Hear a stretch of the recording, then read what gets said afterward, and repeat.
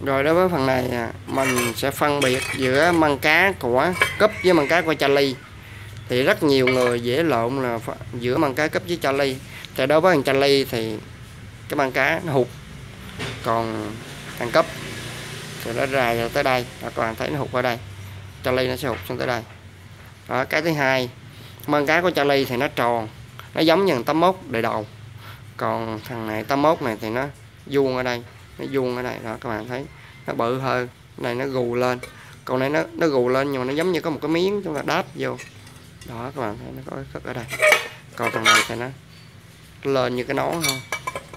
Rồi, phần khác biệt là cái này nó bầu, nó tròn nè. Nó tròn. Còn tấm mốt thì nó vuông vuông vuông vuông. Đó, tấm mốt. Còn đối với cái mặt trong thì giống nhau. Về cơ bản thì mình có thể gắn chung thằng tấm mốt này mình có thể lấy cái băng cá Charlie mình gắn vô được ha. Nhưng mà thằng Charlie mà gắn tấm mốt vô thì không được nó bị dư bằng đây. Có thằng à, Charlie á. À, cái này cho mình lật lên cho mình coi. Thằng Charlie các bạn thấy ở đây chiều nè nó nhỏ còn chiều này nó bự. Nếu các bạn muốn gắn à, cái bàn cá con tấm mốt này vô các bạn phải lấy cái mài bạn cắt một đường ở đây cắt từ bên đây qua bên đây. Thì mới được chứ không là nó dư nó dư phần đây.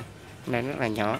Thì chúng ta có thể gắn. Mình là kem kem ờ, mình à, chuyên sơn sửa tân trang các loại xe cấp và cha ly ha. Mình chỉ chuyên các dòng xe cấp và cha ly và cũng chuyên bán phụ tùng xe cấp và cha ly các loại các đời xe cấp. À, nếu các bạn có nhu cầu mua phụ tùng xe cấp có thể liên hệ với mình. Có nhu cầu sửa lại chiếc xe cấp của mình, hoặc là dọn lại theo một cái phong cách mới, cũng có thể liên hệ với mình. Rồi, tất cả mọi nhu cầu liên quan tới xe cấp thì cho lấy các bạn có thể liên hệ với mình qua số điện thoại 0982 116 306 hoặc có thể qua địa chỉ 5 6 đường số 10 khu phố 2 Diệp Bình Chánh, Thủ Đức. Và đầu đường của cái con hẻm đường số 10 nó là 208 quốc lộ 13 Bình Triệu. Nó ngay sau lưng siêu thị có mắt Bình Triệu. Hoặc các bạn có thể lên Google search siêu thị có mắt Bình Triệu bạn qua đó alo cho mình. Mình dẫn bạn vô. À, và lưu ý là trước khi các bạn qua các bạn à, nên gọi trước cho mình tại vì mình hay đi ra ngoài giao đồ giao xe rồi đi lấy xe chẳng hạn rất nhiều thứ.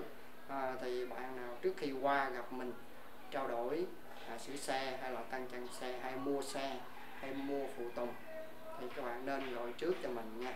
0982 116 306 xin cảm ơn tất cả các bạn.